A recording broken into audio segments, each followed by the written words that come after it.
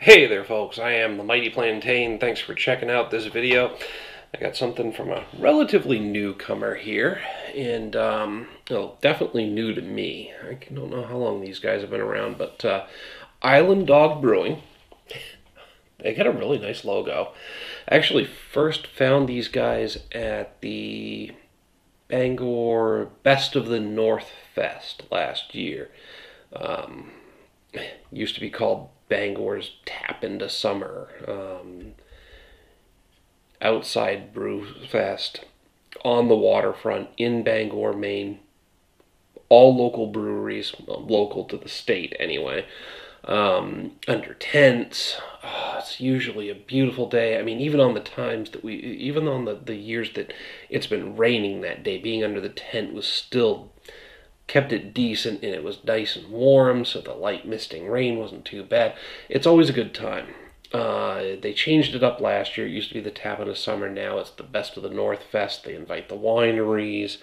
Last year they did wings as well from a bunch of local places, but this year apparently it's just beer, wine, and some spirits, although I'm not getting my hopes up too much out of the uh, two distilleries I saw in last year's uh, program. One of them backed out, so all we had was Tree Spirits. I not to diminish their contribution, but anyway, I'm talking way too much about the festival. Um, if you're local, hope to see you there in Bangor on June 22nd this year, Best of the North Fest for beer, wine, and right now three distilleries are signed up.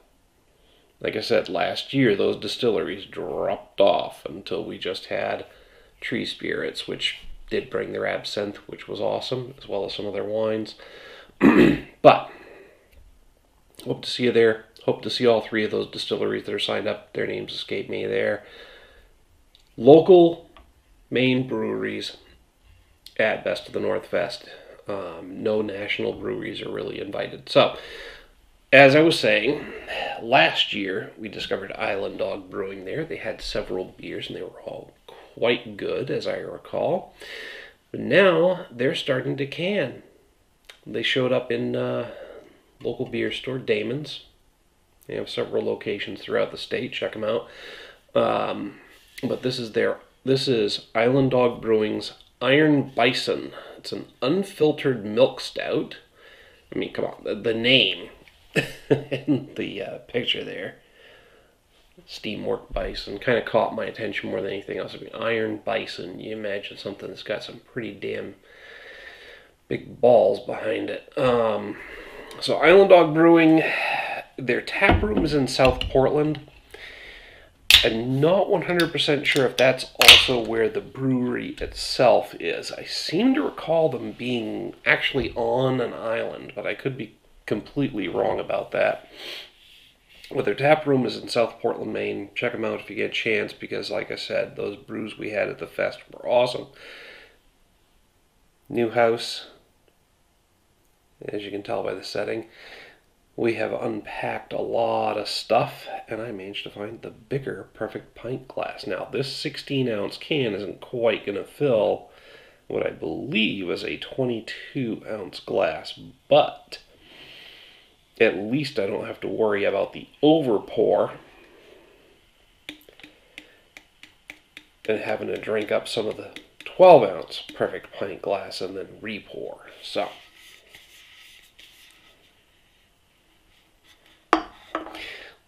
I am assuming that these guys are using the same mobile canning operation that a lot of places in Maine are, which is not a bad thing. It gets their product to the market and it's a lot less expensive for the brewery than in setting up a bottling operation or even a canning operation of their own.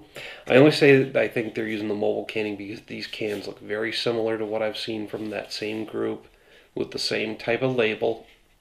Completely different artwork, obviously, but the same style label in terms of dimensions and the way it's wrapped around the can. Now, this operation basically drives around from brewery to brewery, and they pull up with a wholly whole automated system that they just unpack, can up the beer, and then they move on to the next brewery. It's awesome. It's a great business model for these guys because they tapped into a niche market. Lots of breweries find it cheaper to can their beers than to bottle it, And with this, they don't have to invest in the equipment. They just pay somebody else to do it for them. And these guys are just traveling all over the state collecting paychecks for canning beer. Okay. I have talked way too much about everything but this fucking beer, haven't I? I apologize. I might be a couple of beers in right now. But I just guess maybe that's just some flavor or perspective on the state of the brewing industry here in Maine. But let's talk about this Brewdog beer. I mean, there is no light getting through there, even in the the thinner parts of the glass. There is no light coming through that. That is an extremely dark, dark stout. The head has a bit of a brown tinge to it.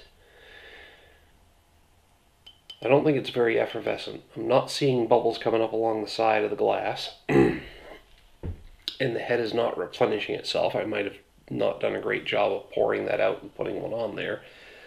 But what is there is nice and thick. Little itty bitty bubbles, but lots of them. It's a good looking beer.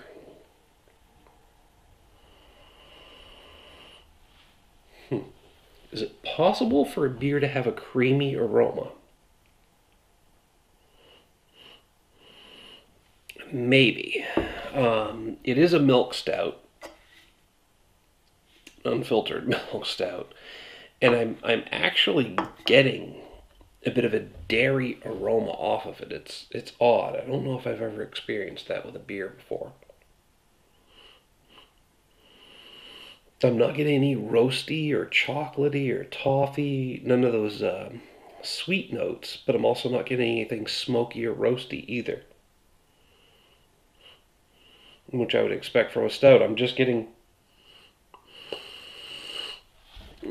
a creamy aroma, almost like a dairy aroma.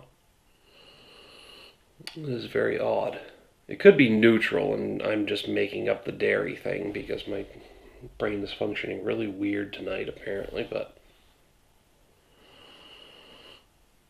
Oh, oh, there it is. If I get way down in there, I am getting some roasty and maybe chocolatey notes. Okay. All right, enough about that. Here we go.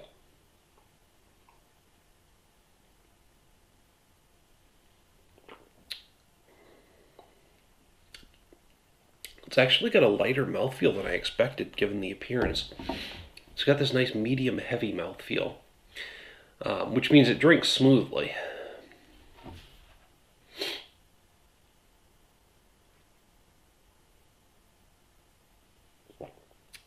Up front, I'm getting some roasty chocolatey notes.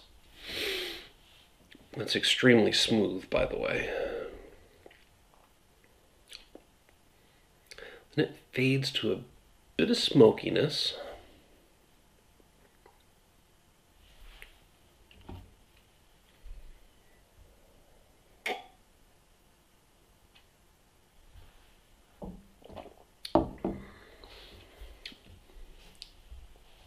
Yep, roasty and chocolatey up front. Bit of smokiness in the finish.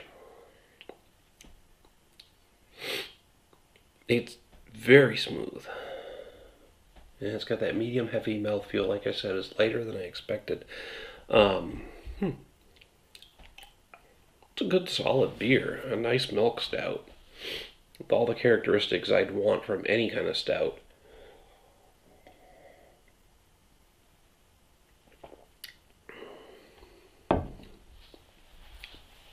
Nothing crazy or different that stands out. Nothing very, nothing really unique about it. But again, it's it's a solid, well put together beer. It is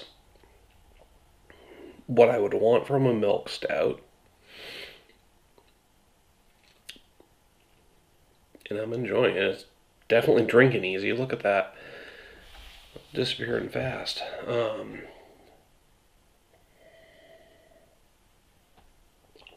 It's not getting anything crazy or off the wall or different about it to distinguish it from the field. Uh, So I'm going to hit this one with a 3.5 out of 5. Now, bear in mind on a scale of 1 to 5, a 2.5 is average. So a 3.5 is a pretty damn good score. Um, I know I say that every time, like I have to justify the score. It's, that's just it. I just don't want anybody to misunderstand and think that I'm giving a good local craft beer a lower rating than it deserves. But in my mind, a two and a half is average, which means that a lot of these local craft beers that are really well put together get that three and a half rating because they're not distinct or different enough to push them up for me. Ooh, pardon, but they're definitely not some run of the mill average beer either. So, like I said, three and a half, pretty solid above average rating for this beer.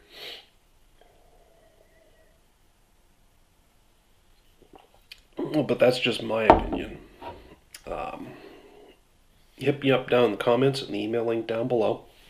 Love to hear what you have to say about Island Dog Brewing's Iron Bison. Whether you agree or disagree with my assessment, either way, let's talk about it. While you're down there, don't forget to like and share the video. Make sure to subscribe to the channel. Till next time, folks. Again, I hope to see Island Dog Brewing at this year's Best of the North Fest. I believe they have signed up. Looking forward to trying something new from them because all their beers have been solid so far. Thanks for tuning in. Cheers.